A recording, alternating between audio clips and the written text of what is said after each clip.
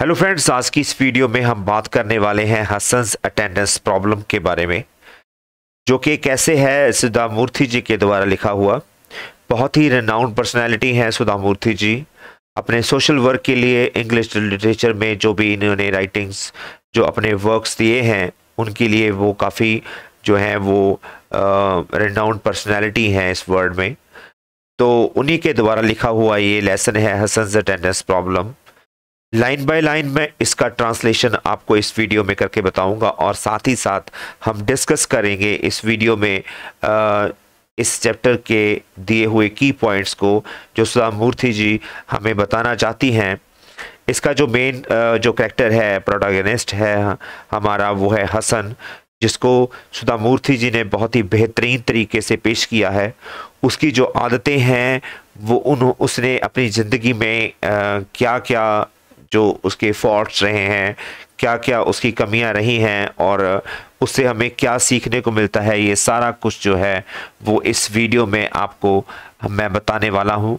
तो जुड़े रहिएगा इस वीडियो के एंड तक ताकि आप सारी इन्फॉर्मेशन इस टेक्स्ट की रिसीव कर सकें मेरी तरफ़ से और आई होप कि आपको ये वीडियो बहुत ही पसंद होने वाली है।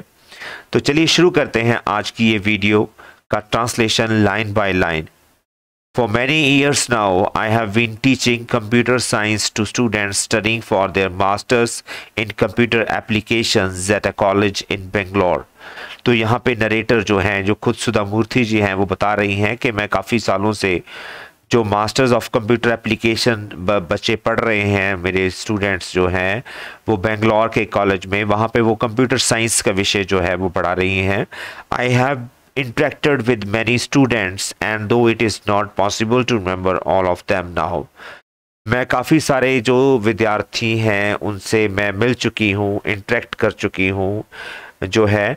तो बट उनमें सभी से जो है, सभी को याद रखना मेरे लिए संभव नहीं है।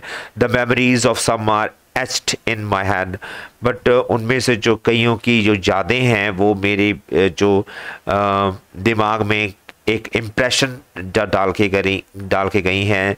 एज्ड होता है किसी चीज़ को आ, किसी चीज़ का इम्प्रेशन ढल जाना जो जो चीज़ें जो हमारे माइंड में लॉन्ग इम्प्रेशन डाल के जाती हैं living strong impression in mind तो उसी की बात कर रही हैं यहाँ पे सुधा मूर्ति जी। तो आ, उसके बारे में आ, जो है सुधा मूर्ति जी कह रही हैं कि कुछ सभी स्टूडेंट्स को याद करना मुश्किल है बट उनमें से कुछ हैं जिस, जिनकी यादें अभी भी मेरे दिमाग में हैं। That is not because they were all brilliant ये ऐसा नहीं है कि वो सभी ब्रिलियंट हैं, होशियार हैं but rather but rather because something in them was very different from the others पर पर हालाँकि उनमें से क्योंकि इसका कारण ये है कि उनमें से जो है, वो दूसरे स्टूडेंट्स से कुछ अलग हैं, हटके हैं। In my first batch there was a very bright boy called Hassan मेरे पहले बैच में एक बहुत ही इंटेलिजेंट लड़का था, जिसका नाम था हसन यहाँ पे जो इस कहानी का मेन प्रोटोगेनिस्ट है, जो मेन करेक्टर है, वो यहाँ पे सुधा मूर्ति जी इंट्रोड्यूस कर रही हैं। हसन है उसका नाम। He was tall handsome with very good memory वो एक लंबा, सुंदर और बहुत ही शार्प माइंड वाला गुड मेमोरी वाला व्यक्ति, जो बच्चा था। He came from an affluent family where he was the only son affluent family होता है, बहुत ही अमीर जो परिवार होता है, उससे वो संबंध रखता था और अकलौता लड़का था अपने पेरेंट्स का। Initially I did not come to know of existence at all शुरुआत में मैं जो उसकी प्रेजेंस थी जो एग्जिस्टेंस थी क्लास में उसको नोटिस नहीं कर पाई mainly because he was hardly ever present क्योंकि उसका कारण ये था कि, कि वो जो क्लास में वो बहुत ही मुश्किल से प्रेजेंट रहता था हाजिर होता था। I normally take the first class of the day मैं ज़्यादातर दिन में जो है वो पहली क्लास लेती थी which is scheduled at nine a m और the one after at ten ten a m जो कि पहली क्लास होती थी, वो नौ बजे होती थी सुबह के और दूसरी जो उसके बाद दस बजे होती थी।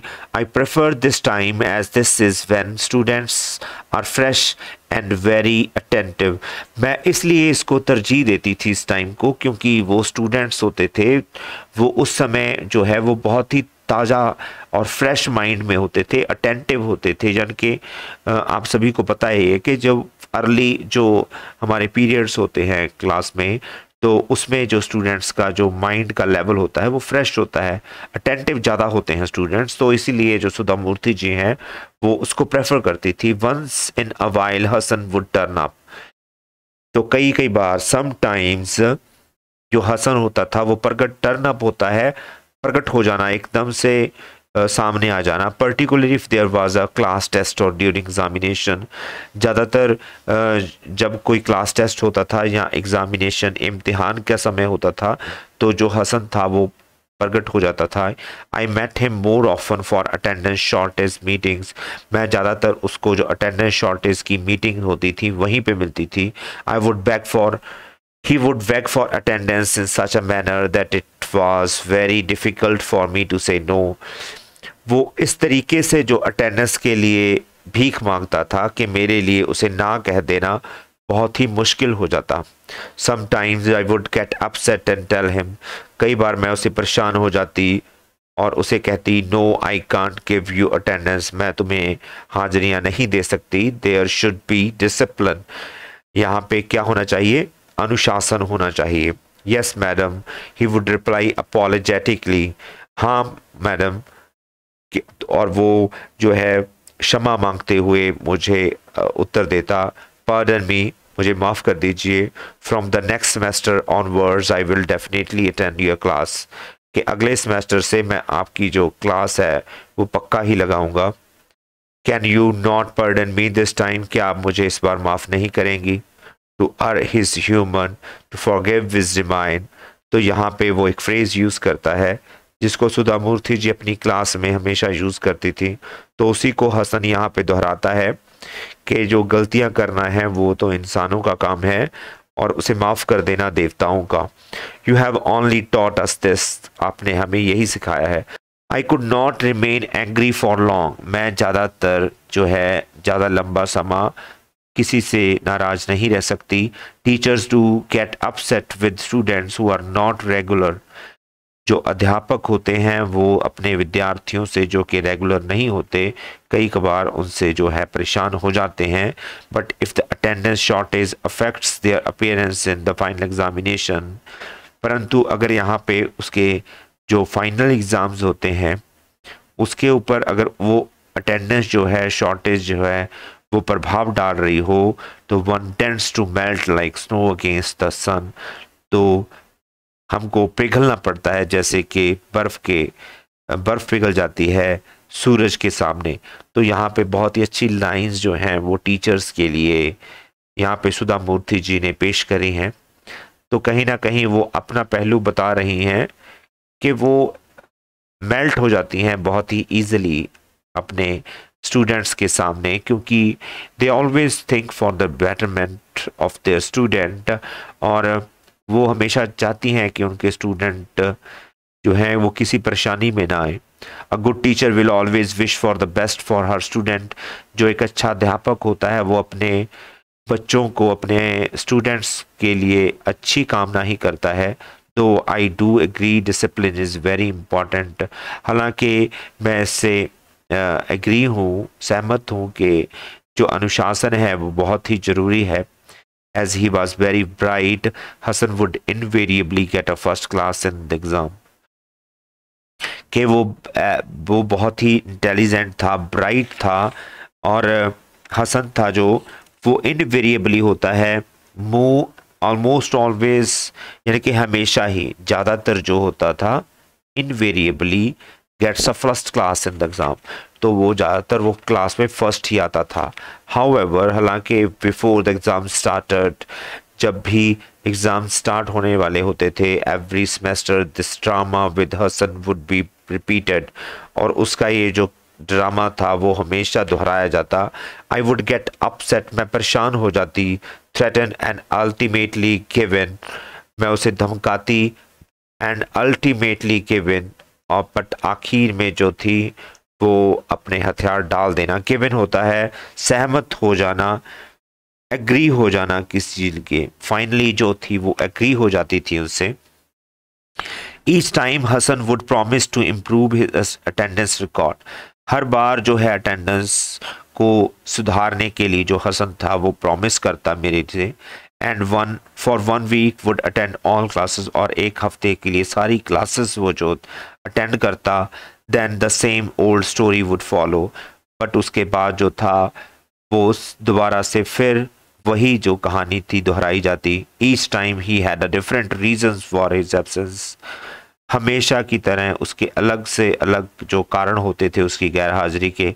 अनफॉर्चुनेटली बदकिस्मती से they always seemed genuine to me और वो मुझे हमेशा ही सही लगते। मेरी निगाहों में वो हमेशा सही लगते। यहाँ पे सुधा मूर्ति जी आ, अपना एक पार्ट शो कर रही हैं कि ऐसा लगता है कि जैसे वो हमेशा she put herself in her students shoes and then he decided whatever it is good और वट इज़ बैड बिकॉज़ वो हमेशा स्टूडेंट को सामने रख कर सोचती थी। सोचती हैं, यानी कि unfortunately can they always seem genuine to me तो उन्हें ये हमेशा ही सही लगता और वो उससे एग्री हो जाती। Once I got tired of stories and called his parents एक बार की बात है कि वो उससे जो है परेशान हो जाती हैं, थक जाती हैं उनकी कहानियाँ सुनकर एंड उनके पेरेंट्स को बुलाया जाता है। Your son is a bright boy आपका जो बेटा है वो बहुत इंटेलिजेंट है ब्राइट है he is not arrogant but he is indiscipline arrogant होता है घमंडी किसी चीज़ का। जब आपके, आप में कोई क्वालिटी होती है ना तो आप में कई बार घमंड आ जाता है। तो उसी के लिए ये वर्ड यूज़ किया गया है एरोगेंट बट वो हसन ऐसा नहीं था। हसन इज़ नॉट एरोगेंट वो घमंडी नहीं है बट ही इज़ इनडिसिप्लिन वो अनुशासन जो है, अनुशासनहीन है। तो यहाँ पे वो सुधा मूर्ति जी जो नरेटर हैं, वो बता रही हैं उनके पेरेंट्स को if only he become he came to class regularly and attend this lab I am sure he can get a rank अगर वो क्लास में रेगुलर आए लैब अटेंड करे तो वो एक अच्छा रैंक प्राप्त कर सकता है। I have failed to convince मैं उसे मनाने में कामयाब नहीं रही। I will be happy if you could look into the matter more seriously मुझे खुशी होगी कि अगर आप इस बात को थोड़ा सा गंभीरता से लें because this is going to affect his life I said to them क्योंकि ये उसके जीवन को प्रभावित करने वाला है। मैंने उसके पेरेंट्स को कहा, Hassan's father was a busy man and did not take my words very seriously Hassan के जो यहाँ पे पिता हैं, वो एक बिज़ी मैन हैं। और मेरे जो बातें हैं, कही गई जो नरेटर के द्वारा जो बातें उसे कही गई, उसको उन्होंने सीरियसली नहीं, गंभीरता से नहीं लिया। ही सेड उन्होंने कहा as long as he does well that is fine with me because after a certain age children do not listen to their parents only life will teach them तो यहाँ पे उनके पिताजी इंट्रोड्यूस होते हैं और इन दो लाइनों से उनके द्वारा जो कही गई हैं, उनसे पता चलता है कि काफ़ी एक्सपीरियंस है उनको अपने लाइफ का। तो यहाँ पे वो बता रहे हैं कि जब तक वो अच्छा कर रहा है, तब तक ठीक है। क्योंकि एक ख़ास एज में आकर जो बच्चे हैं, वो अपने पेरेंट्स को सुनना बंद कर देते हैं। One life only life will teach them और सिर्फ़ उन्हें जो है, उनकी जो उनका जो जीवन है, उनकी जो ज़िंदगी है, वही उसे सिखाती है। क्योंकि ये जो जो लाइंस हैं, वो आगे जाके ट्रू होने वाली हैं इसमें तो इसको भी अंडरलाइन कर लेना चाहिए। But his mother was a in tears but उसकी जो माँ थी उसके आँखों में आँसू थे madam I have failed as a mother कि मैं एक माँ के तौर पर फेल हो चुकी हूँ। He does not listen to me at all वो मेरी जो बात है वो बिल्कुल भी ध्यान से नहीं सुनता। He spends all night listening to music वो सारी रात गाने सुनता है and chatting with his friends और अपने दोस्तों से बातें करता है। He sleeps at six in the morning वो सुबह छः बजे जो है, वो सोता है। How can he come to any class तो वो कैसे किसी क्लास में जा सकता है? He does not pay any attention to what I से वो मेरी कही गई बातों के ऊपर बिल्कुल भी ध्यान नहीं देता and tells me I repeat the same thing always और मुझे कहता है कि मैं हमेशा ही जो है, वही चीज़ें दोहराती हूँ। तो यहाँ पे हसन के, हसन की जो डेली रूटीन है, उसके बारे में यहाँ पे रिवील किया है उसकी मदर के द्वारा। The meeting ended in an argument between his parents तो यहाँ पे जो मीटिंग होती है, वो ख़त्म हो जाती है, किसमें? अपने पेरेंट्स जो पेरेंट्स के बीच बीच में ही झगड़ा हो जाता है आर्गूमेंट्स होने लग जाते हैं। हिज फादर सेड उसके पिता ने कहा यू आर द मदर तुम एक माँ हो it is your duty to correct him ये तुम्हारा फ़र्ज़ बनता है कि तुम इसे सही करो you should spend more time with him तुम उसके साथ तुम्हें ज़्यादा समय बताना चाहिए। आई एम सो बिज़ी मैं बहुत ही बिज़ी हूँ। यू हैव फेल्ड तुम फेल हो चुकी हो। His mother said you are the father उसकी माता ने कहा कि तुम पिता हो it is difficult to control boys कि लड़कों को कंट्रोल में करना बहुत ही, बस में करना बहुत ही मुश्किल है। You can speak to him man to man तुम उसे एक एक आदमी की तरह उससे बात कर सकते हो। Earning money is not the only thing in life और सिर्फ़ पैसा कमाना ही ज़िंदगी में सिर्फ़, एक ही चीज़ नहीं है। दिस कॉन्टीन्यूड फॉर वाइल ये कुछ समय चलता रहा and the meeting ended fruitlessly और जो मीटिंग थी, जो ये हसन के रिगार्डिंग जो मीटिंग रखी गई थी, वो बिना किसी नतीजे पर पहुँचे. फ्रूटलेसली होता है, यानी कि बिना किसी नतीजे से वो एंड हो गई. Hasan's continued in his way still he passed out of his course जो हसन था, वो ऐसे ही चलता रहा जब तक वो अपना कोर्स जो है पूरा करके पास आउट नहीं हो गया. As usual in first class हमेशा की तरह पहली क्लास के पोजीशन में आकर ही वॉज़ अ नाइस बॉय वो एक अच्छा लड़का था।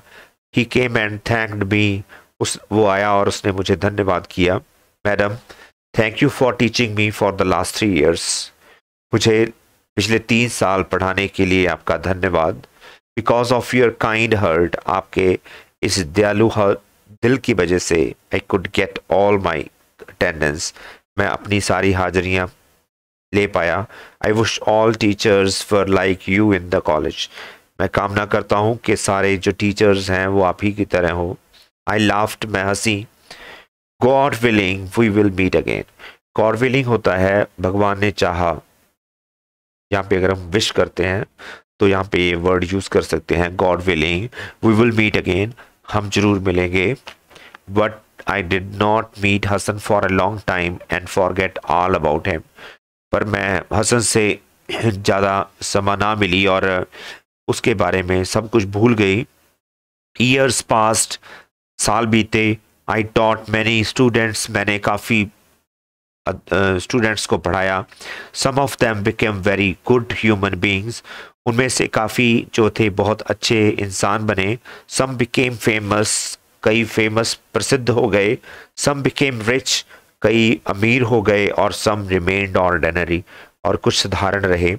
As far as I was concern जहाँ तक कि मेरा संबंध है देवर लाइक माई चिल्ड्रन वो मेरे बच्चों की तरह थे। सम रिमेंबर मी स्टिल कुछ मुझे अभी तक भी याद रखते हैं and send invitation to weddings naming ceremonies house warmings कभी मुझे, यानी कि शादियों में नामकरण की सेरेमनीज में और गृह प्रवेश की सेरेमनीज में हम मुझे बता, बुलाते हैं अभी भी। हाउस वार्मिंग्स होता है गृह प्रवेश। तो वहाँ पे मुझे बुलाते हैं if I am in town अगर मैं शहर में होती तो मैं आई डेफिनेटली ट्राई अटेंड तो मैं पक्का ही जो है, वो उसे, उन्हें जब वो अटेंड करती फ़ंक्शन को। Because for me their immense love is my strength क्योंकि उनका इतना प्यार जो है, वो मेरी स्ट्रेंथ है, वो मेरी ताकत है। वन मंडे मॉर्निंग एक मॉर्निंग जो थी, सोमवार की morning my secretary told me that a person wanting me wanting to sell the latest software in high school teaching wanted to meet me तो यहाँ पे उनकी सोमवार की सुबह पे, सुबह में उनकी जो सेक्रेटरी है, वो उन्हें बताती हैं कि एक आदमी है जो कि लेटेस्ट सॉफ्टवेयर्स की जो सीडीज़ हैं हाई स्कूल टीचिंग के लिए, उसको बेचने के लिए आया है और मुझे मिलना चाहता है।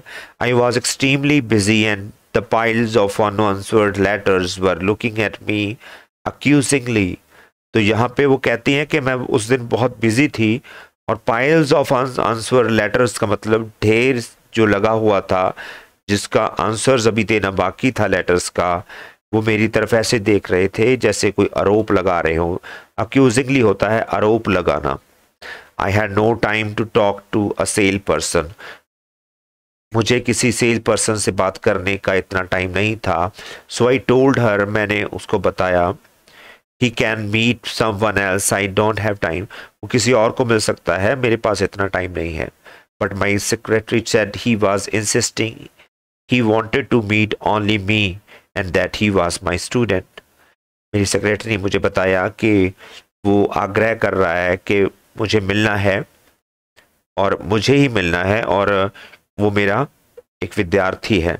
She knew how fond I was of all my students वो जानती थी कि मैं अपने सभी विद्यार्थियों से कितना प्यार करती हूँ।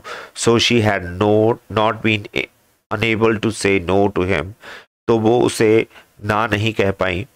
In that case let him see me at two P M तो ऐसी बात है तो उसे दो बजे मिलने के लिए कहो। इन द आफ्टरनून दोपहर में a man of about thirty five years एक पैंतीस साल का आदमी प्लम्प होता है, मोटा ताज़ा विद अ बाल्ड हेड जिसका सिर गंजा है एंड मॉडरेटली ड्रेस्ड होता है, साधारण तरीके से dressed up was waiting for me in the office मेरी वेट कर रहा था मेरे ऑफ़िस में। In his hand was the C D with the software उसके हाथों में जो है वो सी डी सॉफ्टवेयर की सी डी थी। I could not place him though he seemed familiar could not place him होता है रिकग्नाइज ना करना किसी को किसी को ना पहचानना। तो मैं शुरुआत में जो है उसको ना पहचान पाई बट वो जो है जाना पहचाना लग रहा था। He smiled at me and said वो मुस्कुराया और उसने कहा, madam can you recognise me क्या मुझे आपने पहचान लिया? यू मे नॉट हो सकता है आपने नहीं because you how can you remember all of your students वो हो सक, वो भी कैसे कि आप इतने स्टूडेंट्स को कैसे रिमेंबर याद रख सकती हो? From a window you can see the outside world but from the outside you can not see all that is inside तो यहाँ पे ये लाइनें भी अंडरलाइन करने बनती हैं यहाँ पे। तो यहाँ पे हसन दूसरी बार जो है अपने टीचर की कही हुई लाइनें दोहरा रहा है कि खिड़की से आप बाहर के, बाहर क्या है वर्ड में वो देख सकते हो, परंतु बाहर से आप ये नहीं देख सकते कि अंदर क्या है। आई लाइक हिज एनोलॉगी मैं इस कंपैरिजन से, इस एनोलॉगी से बहुत मुझे पसंद आया वो, जो एनोलॉगी उसने यूज़ करी। Was sure he was my student because I often use this phrase in my class. मुझे ये यकीन हो गया कि वो मेरा ही विद्यार्थी है, क्योंकि ये ये जो लाइंस हैं, ये फ्रेज हैं, वो हमेशा क्लास में मैं यूज़ करती थी। Still I could not guess who he was पर अभी भी मुझे, मैं ये नहीं गैस कर पाई या नहीं पाई कि वो कौन है। Madam I was the perpetual late comer of your class madam मैं हमेशा आपकी क्लास में लेट आने वाला हूँ। That's when the coin dropped इस बात से जो है, वो कॉइन ड्रॉप्ड का मतलब होता है, एकदम से कोई चीज़ समझ में आ जाना कि ये तब था कि जब मुझे पता चल गया someone suddenly understand that coin dropped इसका मतलब होता है, ठीक है रिलाइज्ड सुधामूर्ति जी ने रियलाइज़ किया कि hi Hasan how are you Hasan तुम कैसे हो? It it's been a long time since I last met you तुम्हें मिले कितना लंबा समय हो गया है? I was very happy to see him मैं उसे मिलकर बहुत खुश हुई, उसको देखकर बहुत खुश हुई। Madam I am fine and remember many of your lessons member मैं मैडम मैं ठीक हूँ और आपके जो पाठ हैं, जो लेसन्स हैं, वो मैं मुझे अभी भी याद हैं। तो यहाँ पे देखिए हसन्स को जो लेसन्स थे, वो अभी भी याद थे।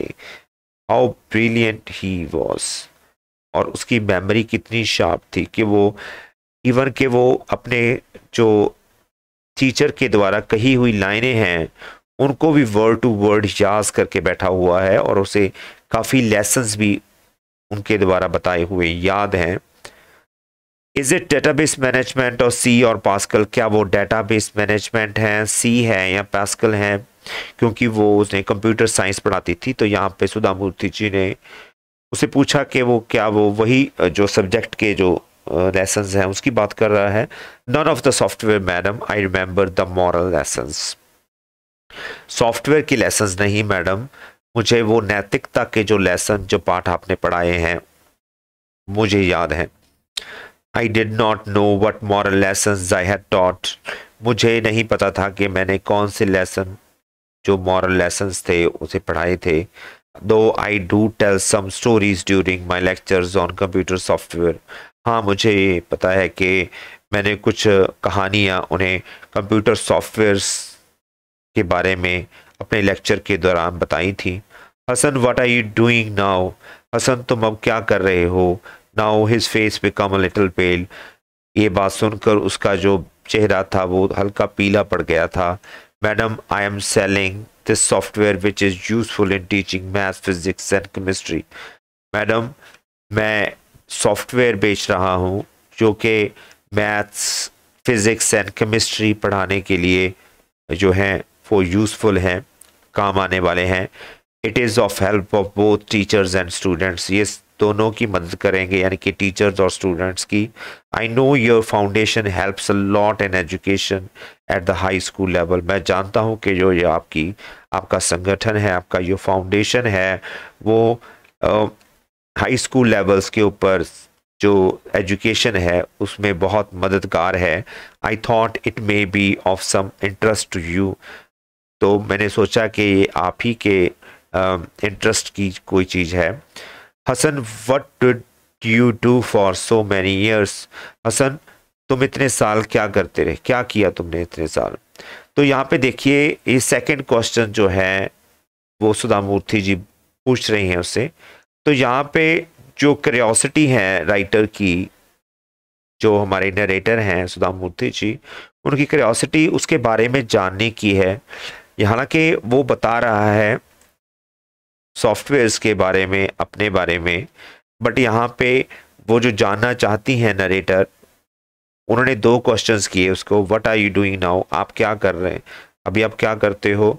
और इतने साल तुम क्या करते रहे तो यहाँ पे नरेटर को जो है क्रियोसिटी है उसके बारे में जानने की।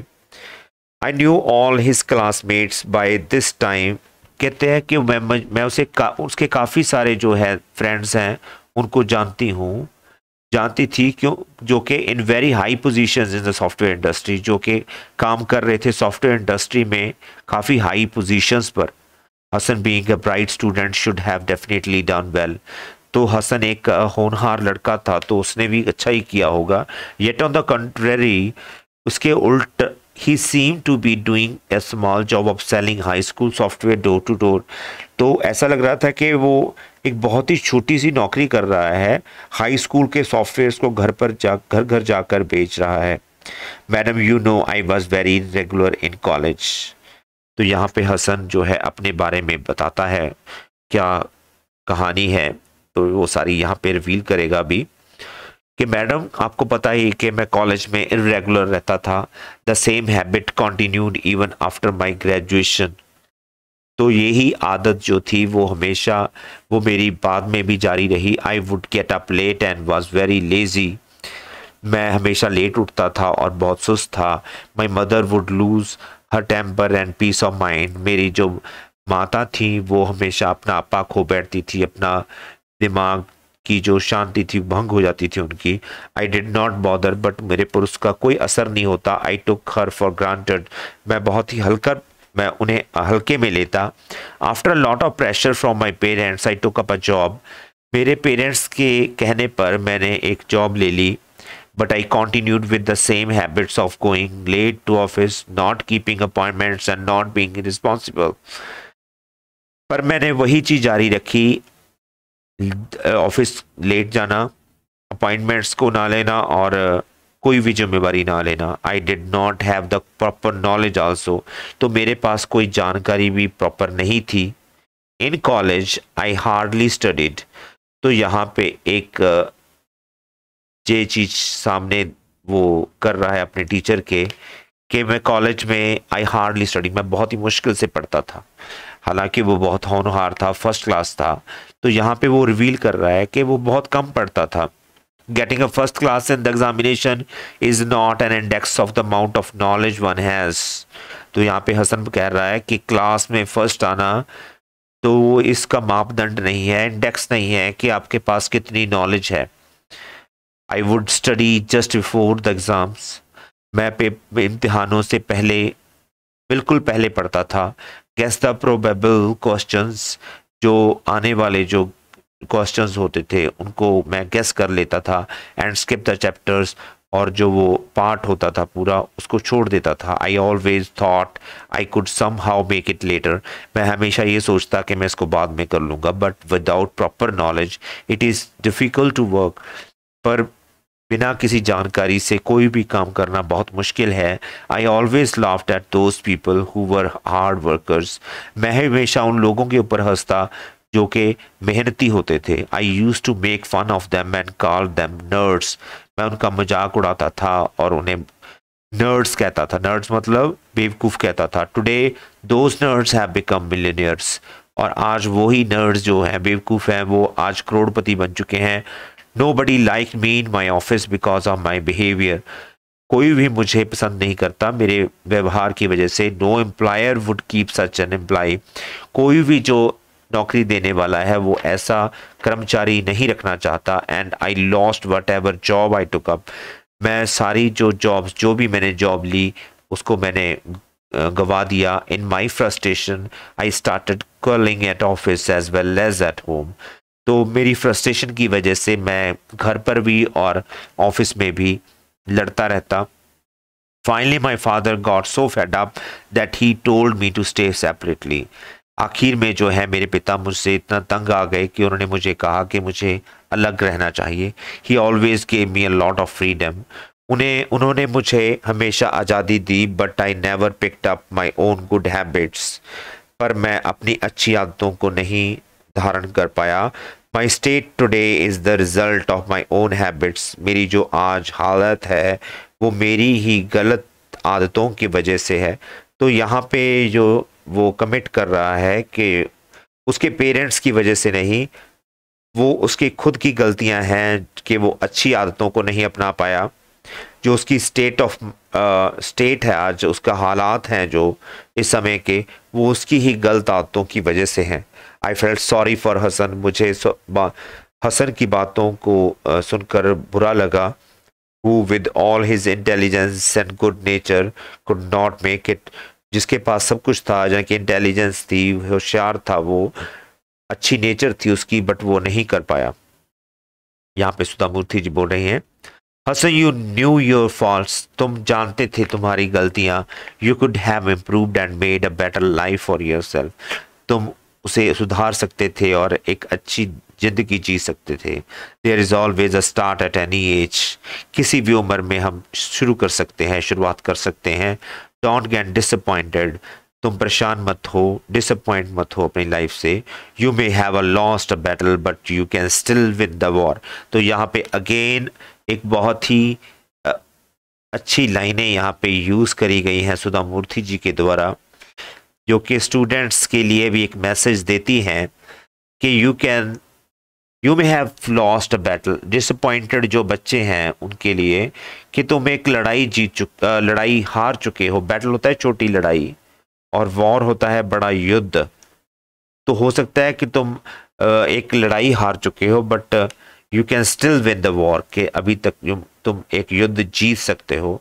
Madam old habits die hard madam की जो बुरी आदतें होती हैं, वो बड़ी मुश्किल से जाती हैं। डाई हार्ड होता है, बड़ी बहुत मुश्किल से मरती हैं। But Hasan it is possible to change your habits but Hasan कि ये संभव है कि तुम अपनी आदतों को बदल सकते हो। There is nothing which is impossible ऐसा कुछ भी नहीं है जो संभव नहीं है।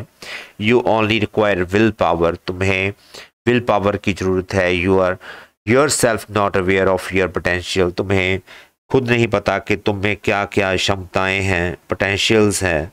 Please remember when elders say something they do so because they want you to lead a better life than them तो हमेशा याद रखो कि अगर बड़े तुम्हें कुछ कहते हैं, यहाँ पे बड़े की, बड़े का मतलब है पेरेंट्स जो है। अगर तुम्हें कुछ कहते हैं तो उसका मतलब ये है क्योंकि वो चाहते हैं कि वो तुम उनसे अच्छी जो लाइफ है, वो जी सकें। लीड कर सकें। Excellence does not come by accident but by practice जो एक्सीलेंस जो निपुणता होती है, वो किसी बाय चांस नहीं आ जाती, किसी एक्सीडेंटली नहीं आ जाती। वो तो बाय प्रैक्टिस आती हैं। By practice means for the by the hard work और बार बार किसी चीज़ को दोहराने से आती हैं। I could not I could see a twinkle in his eyes मैं उसकी आँखों में चमक देख सकती थी। I thought I saw glimpse of the young bright Hasan मैंने देख मैंने सोचा कि मैं एक uh, उसी यंग ब्राइट हसन जो जो कॉलेज टाइम में हसन था उसकी झलक देख रही हूँ। I will try my best madam मैं अपनी पूरी कोशिश करूँगा मैडम ही प्रोमिस्ड उसने वादा किया as he rose to leave जैसे ही वो उठ कर जा रहा था। I have not met Hasan since the day since that day मैं उस दिन से अब तक जो हसन को नहीं मिली I hope to bump into him unexpectedly once again पर मुझे उम्मीद है कि मैं कभी उससे टकराऊँगी। बम्प इन टू मतलब टकरा जाना किसी से। दोबारा फिर उससे टकराऊँगी। जब मुझे दोबारा फिर वो मिलेगा। And this time find him happy and successful और इस टाइम जो है वो खुश और उसे जो ज़िंदगी में कामयाब देखूँगी। तो यहाँ पे सुधा मूर्ति जी ने बहुत ही पॉजिटिवली इस ऐसे को एंड अप किया है। तो ये कोई हसन जो है, एक पर्टिकुलर एक करेक्टर है बट आई थिंक कि सभी स्टूडेंट्स हसन हैं, जो भी अपनी फॉलो करती हैं बैड हैबिट्स और जिन्हें अभी सुधरने की ज़रूरत है तो उनके लिए काफ़ी अच्छा मैसेज सुधा मूर्ति जी ने दिया है। बिकॉज़ किसी भी उम्र में शुरुआत की जा सकती है पॉजिटिवली तो हमें डिसअपॉइंट नहीं होना चाहिए। पेरेंट्स को हमें आ, हमेशा फॉलो करना चाहिए जैसे वो कहते हैं उनकी आज्ञा में रहना चाहिए क्योंकि they always think about our betterment तो as well as the teacher also think always for our betterment तो इन्हीं चीज़ों के शो करता हुआ ये जो लेसन है, वो आज हमने डिस्कस किया है। आई होप कि आप सभी को ये वीडियो पसंद आई होगी। अगर पसंद आई है तो इसे लाइक और शेयर अपने फ्रेंड्स के साथ ज़रूर कर दीजिएगा। अगर कोई आपका सुजेशंस है इस वीडियो के रिगार्डिंग तो मुझे कमेंट बॉक्स में कमेंट छोड़ सकते हैं हम अपना। ये आपके जो लाइक्स हैं, जो शेयर्स हैं, जो कमेंट्स हैं, वो मुझे मोटिवेट करते हैं और नई वीडियोस बनाने के लिए, क्योंकि बहुत कुछ करना अभी बाकी है। आपकी हेल्प से ही जो है, ये संभव हो पाएगा। आई होप कि आपको ये वीडियो अच्छी लगी होगी और मिलते हैं जल्द ही एक नई वीडियो के साथ। तब तक के लिए have a nice day and goodbye